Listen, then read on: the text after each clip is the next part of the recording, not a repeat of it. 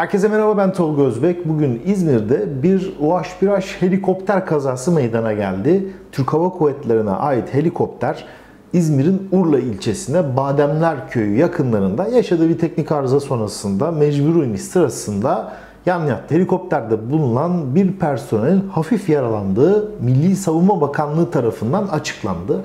Ee, ve olayla ilgili de tabii soruşturma başlatıldı. Ben de tabii bu gelişmeler üzerine sizlerin de merakı var konuyla ilgili bir video hazırlamak istedim. Tabii videoya başlarken öncelikle uçuş ekibine geçmiş olsun diliyorum. Yaralanan personel de umarım en kısa zamanda sağlığına tekrar kavuşur ve görev yapmaya başlar. Tabii bu e, kazayla ilgili gözüken şu. Helikopter 2. Anajet Üst Komutanlığı Çiğli'den kalkıyor. Çiğli, İzmir'i bir körfez olarak baktığınız zaman biraz daha kuzeyde yer alıyor. Karşıyaka'ya yakın bir bölgede. Burada aynı zamanda Türk Hava Kuvvetleri'nde görev yapılacak pilotların da e, eğitimleri gerçekleştiriliyor.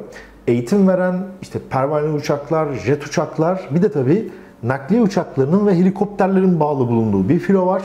E, bu filo üzerinden e, uçuş eğitimleri gerçekleştiriliyor. Eğitim uçuşunda OH1 bölgede uçarken yaşıyor, yaşadığı bir teknik arıza sonrasında e, muhtemel helikopterde sayı açıklanmadı Milli Savunma Bakanlığı tarafından ama benim tahminim bir öğretmen pilot var. Bir öğrenci pilot muhtemel eğitim için olduğu için e, muhtemel bu şekilde. Bir de tabii uçuş teknisyeni yer alıyor UH1'de.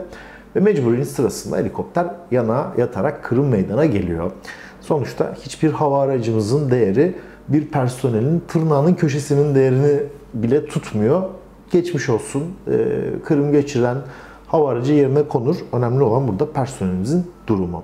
Kaza sonrasında biz bu bilgileri Milli Savunma Bakanlığı'na alıyoruz. Resmi kaynaklardan teyit ettirmeye çalışıyoruz. Sizlerle paylaşıyoruz. Ama hemen altına da gelen yorumlar ya bu helikopterler 50 yıldır uçuyor hatta bir tanesi yok 2. Dünya Savaşı'ndan kalma falan gibi yorumlarda bulununca benim de tabiri caizse tepemin tası atıyor. Ee, amacım bu videoda hem biraz UH-1'ler Türkiye'de ne kadar süredir uçuyor, neler yaşanıyor e, ve ne zaman emekli olacak, yerine hangi helikoptere bakacak biraz bilgi bazlı olarak sizlere bunları iletebilmek. Öbür türlü işte bunlar niye emekli olmuyor, ne yapacaksınız, ne edeceksiniz? O zaman buyurun diyorum e, Genelkurmay Başkanlığı'na, Hava Kuvvetleri Komutanlığı'na ilgili projelerin başına geçin. Siz bir inceleyin, karar verin. Demek ki bu yorumları yapacak kadar teknik bilginiz, pilotaj bilginiz, bakım bilginiz, idame bilginiz, komuta bilginiz var ki e, buyurun sizler yorumunuzu yapın diyorum. O yüzden e, yazan arkadaşlarımız lütfen bu bilgiler ışığında düşünürlerse çok daha sevinirim. UH1H veya UH1 modeli e, adeta dünyada helikopterciliği askeri amaçlı, arkasından sivil amaçlı tüm dünyaya gösteren bir döner kanat operasyonunun ne kadar önemli olduğunu tüm dünya ispat etmiş bir helikopter modeli. Belki de dünyada en çok bilinen helikopter modeli desek yalan olmaz. Amerikalı imalatçı Bell tasarımı e, bir helikopter. 1960'larda özellikle kendini Vietnam Savaşı'nda gösteriyor. Tek motorlu bir helikopter. Önce işte UH-1A, B serileriyle başlıyor. Farklı farklı modellerle helikopter evriliyor.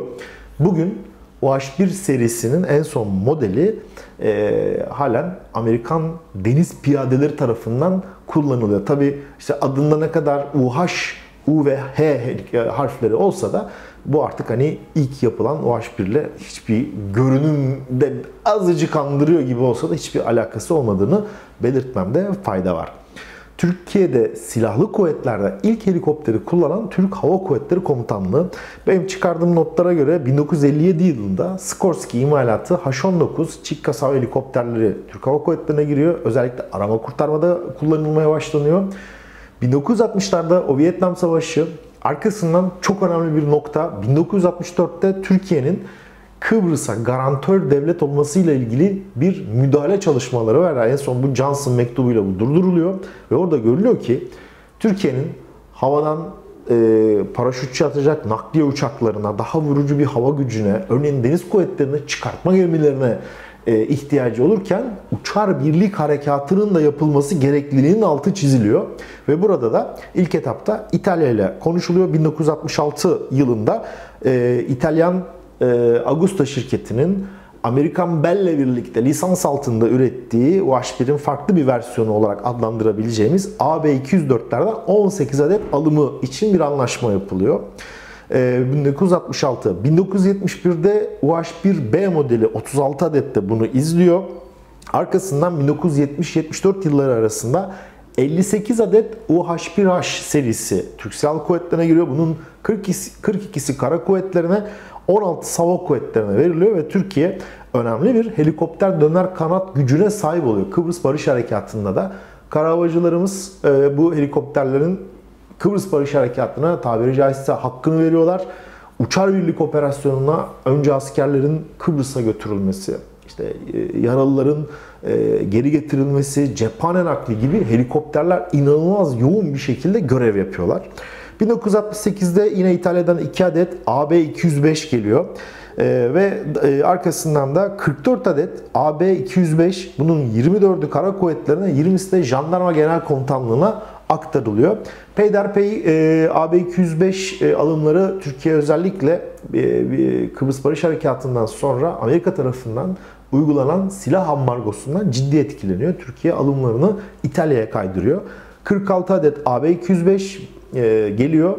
E, daha sonra 1980'li yıllarda 25 adet UH-1H Amerika Birleşik Devletleri'nden 84-86 arasında giriyor. Bunların bütçelenmesi de 1982 yılı içerisinde gerçekleşiyor. Bu son gelen 25'lik paketten 10'u Hava Kuvvetleri Komutanlığı'na veriliyor. Ve en son 1984-91 yılları arasında da anlaşma imzalanıyor. Ankara'da güvercinlikte o zamanki adı 91. Ana Bakım Fabrika'da toplam 60 adet UH1 serisi montaj işlemleri gerçekleştiriliyor ve montaj sırasında da bazı parçalar Türkiye'de üretiliyor. Yani Kara havacılık, jandarma, hava kuvvetleri olarak baktığımız zaman deniz kuvvetlerini ayrı tutuyorum. Çünkü o helikopterler oldukça farklı kullanılan e, UH-1 versiyonları. Türkiye'de 311 adet UH-1 tip helikopter geliyor. Şimdi UH-1'lerin o N modeli çift motordur ama Türkiye'deki işte AB 204, 205, UH-1B, UH-1H modellerin hepsi tek motorludur. 1990'lara kadar Türk Kara Kuvvetleri'nin ana e, döner kanat gücünü oluşturuyor. Fakat 80'lerin ikinci yarısından sonra Güneydoğu'da yoğun terör operasyonlarının yapılmasıyla birlikte yüksek irtifada bu helikopterler biraz yetersiz kalmaya başlıyor. Şimdi yükseklik, artan sıcaklık bir helikopterin performansını düşüren önemli e, noktaların başında geliyor. Bu açıdan daha güçlü bir helikopter arayışı var. Önce jandarma Skorsky'den S-70 Black Hawk Amerikan ordusundaki adı UH-60'tır. E, Black Hawk'ları Skorsky'ler envantere girmeye başlıyor. Bunu 1990'lı yıllarda kara kuvvetleri için yapılan alımlar izliyor ve aynı zamanda da UH-1'leri desteklemek için Fransa'dan, Eurocopter'den e, daha sonra adı Airbus Industries'in içine girip Airbus Helicopters olacaktır. Asya 532 Cougar helikopterleri de envantere alınıyor. Ama UH-1 ile olan bağlantı hiçbir zaman kopmuyor. Ee, eğitim amaçlı, daha batıda VIP taşınması, personel nakli, malzeme nakli gibi her türlü konuda UH-1'ler e, uçuşlarını devam ettiriyor. Bu arada 2000'li yılların başında da bir modernizasyon programı UH-1'lere uygulanıyor. Helikopterin 1400 beygirlik motoru yine T-53 ailesinin 1800 beygirlik yani 400 beygir daha kuvvetli versiyonuna çıkartılıyor. Kokpite Aselsan tarafından geliştirilen sistemler, ekranlar ve aviyonik sistemler ekleniyor. Ve tabii ki yerden havaya atılan füzelerin caydırılması, e, yanıltılması için bazı karşı tedbir sistemleri de UH-1'lere yerleştiriliyor. 2000'li yılların başından itibaren uygulanan bu modernizasyonla helikopterin ömrü yapılan tabi yapısal iyileştirmelerle birlikte 2030 yılına kadar uzatılmış oluyor. Bu arada tabi hatırlayacaksınız 2018 ve 2019'da arka arka İstanbul'da iki UH-1 kazası meydana gelmişti. Bu kazalarda 9 askerimiz şehit olmuştu. E, bu kazalardan da yapılan incelemelerde özellikle FETÖ döneminde bu helikopterlere yedek parça alımlarında orijinal parçaların kullanılmadığı, servis bültenlerinin e, tam takip edilmediği tespit edilmişti. E, bu iki kaza sonrasında 2018 sonu ve 2019 başında tüm UH-1'ler jandarmada, kara kuvvetlerine, hava kuvvetlerine yere iniyor. Ve çok ciddi bir yedek parçalarının kontrol edilmesi, yeni sistemlerle e, tekrar e, bu kontroller sonrasında bulunan parçaların değiştirilmesi, bütün o performans şartlarının tekrar oluşturulması birlikte helikopterler emniyetli bir şekilde uçuşlarına devam ediyor. Sonuçta döner kanat operasyonu hiç de kolay olmayan bir operasyon ve pilotaj çok çok ön faktörde. Yapılacak ufacık bir hata, kaza kırımla sonuçlanıyor. Bir teknik arıza sonrasında e, çok dikkatli olmak gerekiyor. Çünkü adı üstüne döner kanat. Helikopterin her tarafında hareket eden parçaların bakımları e, çok iyi yapılması lazım. Parçaların çok iyi değiştirilmesi lazım. Bununla ilgili de çok ciddi bir e, çalışmaların hayata geçirilmesi lazım. E tabi bakıyoruz burada bazı yaşanan o özellikle FETÖ etkisiyle bazı konuların e, kaza kırım olarak sonuçlandığı görülüyor ama bunlar o 2019 sonrasında yapılan büyük e, kontroller ve çalışmalar sonrasında bunlar gideriliyor. Şimdi bu helikopteri ne ile değiştirilecek? Şimdi Türk Havacılık ve Uzay Sanayi T-625 Gökbey helikopterini geliştiriyor. Gökbey'de amaç bir genel maksat helikopterine kavuşmaz. Yani tabii ki UH-1'lerin çok daha kuvvetleri Black Hawk helikopterleri, doğrudan alımlar var. TUSAŞ tarafından T-70 olarak Ankara'da üretilen helikopterler var. Bunların bir alt kategorisine yani 13 asker taşıyabiliyor ama yani sonuçta tek motorlu. Bunun yerine 6 ton maksimum kalkış ağırlığına sahip çok daha gelişmiş T-625 Gökbey helikopteri gelecek. Gökbeylerin e, testlerinin önemli bir kısmı tamamlandı. Muhtemel e, önümüzdeki Mayıs-Haziran ayları gibi ilk kullanıcı olan jandarmaya teslim edilecek. Bu arada helikopter operasyonunda hani kara havacılık bir ekoldür. Türk Hava Kuvvetleri kendi sistemi vardır. Jandarma havacılığı da ayrı bir sayfada incelemek gerekir. Jandarma havacılık çok çok yoğun uçan ve hani helikopterin e, işte karakoldan karakola, hasta naklinden araba kurtarmaya, deprem olur. Orada böyle çok ana görevlerde uçar jandarma havacılar. Jandarma havacılar da adeta o kullandıkları hava araçlarının suyunu çıkartıp en iyi şekilde iyi tecrübelere sahiptir. Gökbey'in de ilk kullanıcısı jandarma genel komutanlığı, jandarma havacılık olacak. Jandarma havacılığın geri dönüşleri doğrultusunda bu helikopter geliştirilecek ve UH-1'lerin yerini alması hedefleniyor. Tabi bu projede çok önemli konulardan bir tanesi de e, ilk olarak bu helikopter Amerikan motoruyla uçuyor. Aynı bizim T-129 ataklarda olduğu gibi. Halen TEI tarafından geliştirilmiş TS-1400 motoru da bu helikoptere uygulanıyor, test uçuşları yapılıyor. Ben eminim ki yerli motorda olgunlaştıktan sonra Türk Silahlı Kuvvetleri UH-1'lerine T-625'in o TEI motorlu versiyonuyla değiştirecek. Çift motorlu bu helikopterler 1400-1400 2800 beygir güç üretiyor. Her şartta çok emniyetli uçabilen, güçlü, kuvvetli, iyi helikopterler olacaklar. Buradan buraya geçiyor. Şimdi gelelim o ya bunlar 2. Dünya Savaşı'ndan kaldı, şöyle oldu, böyle oldu diyen arkadaşlara. 051 e, kuyruk numaralı helikopter düşüyor. 1982 e, yılında bütçelenmiş bu. 1900 muhtemel 84, 85 veya 86 yılında hava kuvvetlerine gelmiş e, gözüküyor. Benim kayıtlarıma göre varsa bir yorumu yapacak arkadaşların da tabii ki yorumlarını bekleyiz. Ama hava araçlarına yaş önemli değil. Nasıl baktığınız bakımları tam mı? Uçuşa ne kadar hazır? Ne kadar süre uçmuş? ne kadar süre yerde beklemiş bu gibi özellikler çok çok önemli. Zaten kaza kırımında Türk Hava Kuvvetleri'nin uzman ekipleri var. Otururlar güzel raporlarını çıkartıp eksiklikler belirtilir. Nerede e, e, eğitim mi, bakım mı, pilotaj mı neyse neyse eksiklik o giderilir. Oradan bir kere içiniz rahat olsun bunu belirteyim. Şimdi bu helikopterlerle ilgili Türkiye çok zengin bir ülke değil.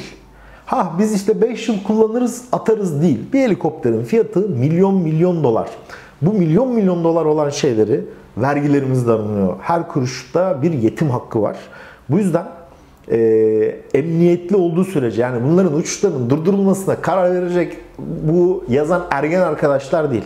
O yazan ergen arkadaşların birçoğu da ben eminim ki e, yaşları itibariyle daha kendi parasını kazanmıyor.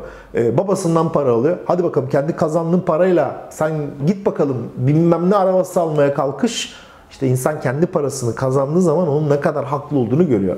Türk Silahlı Kuvvetleri, jandarmamız, sahil güvenliğimiz, askerimiz en iyi silahla, teçhizatla uçma hakkı vardır. Ama ülkenin şartları içerisinde bu görevi emniyetle yapabilecek şekilde imkanlarımız da ben de isterim. Hava kuvvetlerimizde şöyle olsun, kara kuvvetlerimizde şu uçsun, deniz kuvvetlerimizde şöyle olsun. En iyisi isteriz ama alınabilecek şartlar vardır.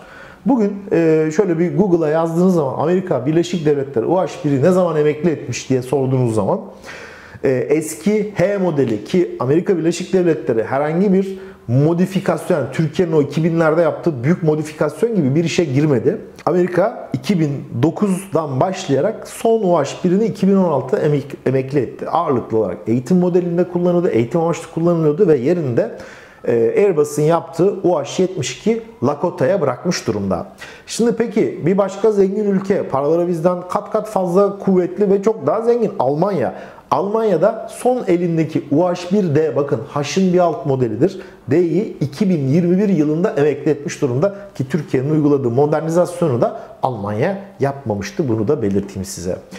2030'a kadar bu helikopterlerin gövde ömürleri müsait, uçabilecek kapasiteye sahip yerinde peyderpey bu süreç içerisinde Gökbey'e bırakacak. İşte bana diyorlar ki sen diyor F4'ü öyle yapıyorsun uçan teneke. Arkadaşlar bir uçak uçtuğu sürece silahlı kuvvetlerde emniyetle görev yapabildiği sürece silahlı kuvvetler bunu envanterini tutar. Son dakikaya kadar kullanır. Hatta belirli bir süre harp yediği olarak tutar. Var mı elinizde uçak? F4'ü emekli edeceksiniz. Ne oldu? Amerika veriyor mu blok 70? Kaç sene sonra gelecek? Milli Muharip Uçak Kaan ne durumda? İlk uçuşunu yaptı. Gelişmesi için en az 2028'e kadar bekleyeceğiz. Ne yapacaksınız bu süre içerisinde? Hop emekli ettim attım değil. Bugün Amerika Birleşik Devletleri elinde 1960'larda üretilmiş B-52'leri uçuyor. 1950'lerin sonunda üretilmiş Türkiye gibi KC-135 nakliye havadan e, tanker uçaklarını görev yaptırıyor. Bakıyorsunuz 1970'lerin lerde üretilmiş F-15'ler yavaş yavaş envanterden çıkıyor. Bir hava aracı çok pahalı bir sistem ve onu tutabiliyorsanız, emniyetle uçurup görev yaptırabiliyorsanız hatta gelişmiş sistemlere sahipse, demode değilse işte bu en ekonomik bir şekilde bunu yapıyorsunuz. O yüzden hayatında para kazanmamış, babasından anasından haçlık alan klavye delikanlıları buyurun bakalım bugün dendiği zaman işte Türkiye ek şunu alacak. Herkes bakalım mesela 100 bin TL versin biz bu milli muharip uçağı şöyle yapalım dediğiniz zaman o hayır ama sorsan en iyisini istiyor. Devletin parası yoktur arkadaşlar. Devletin parasını bizlerin oluşturduğu vergileri yönetir. Ortak bir akılla nereye harcanacak, ne yapılacak, ne edilecek bunlar planlanır. Silahlı kuvvetler bu birleri 55 yıla yakın sürede 56 yıldır uçuruyor. Başarıyla da uçuruyor bu helikopterleri. Ee, tamam kaza kırımlar oluyor ama bu helikopterler 1974'te Kıbrıs Barış Harekatı'nda uçtu. 80'lerin ortasından itibaren Güneydoğu'da veya sınır ötesi operasyonlarda teröre karşı adam aşağıdan size füze atıyor. Makinalı tüfekle tarıyor helikopterinizi. Çatışmanın ortasına asker indiriyorsunuz. Yaralıyı alıyorsunuz. Malzeme indiriyorsunuz. Kaldırıyorsunuz oradan götürüyorsunuz. Bunlar hiç kolay operasyonlar değil. Tutup da bir Almanya'nın kendi böyle lay lay lom uçtuğu şartlarıyla Türk Silahlı Kuvvetleri'ni karıştırmamanızı ben tavsiye ederim.